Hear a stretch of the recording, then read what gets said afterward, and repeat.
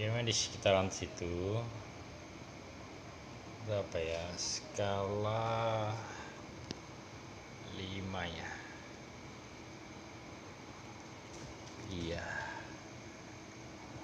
Ini guncangan dari luar ini. Nah, kena imbas.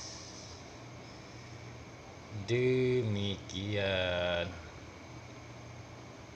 Oke itu aja ya. Dia kena guncangan dari Sulawesi